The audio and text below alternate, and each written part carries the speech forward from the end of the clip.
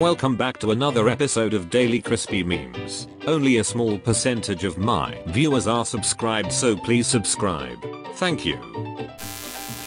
9 year old me after buying a bookshelf from a villager and selling him books back. Business is booming. When you're cooking and drop a meatball on the floor.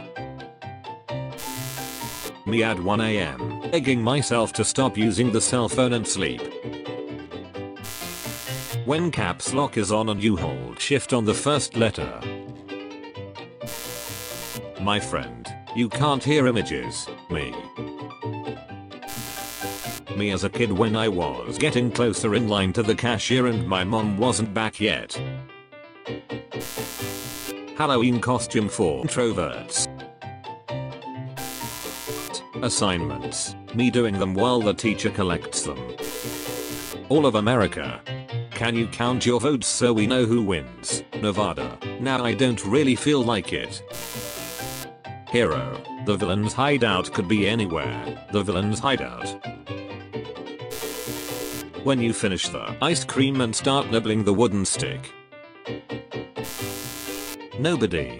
19th century gamers. When I see diamonds. When I realize it's lapis. You know like the beach. The perfect night doesn't exist.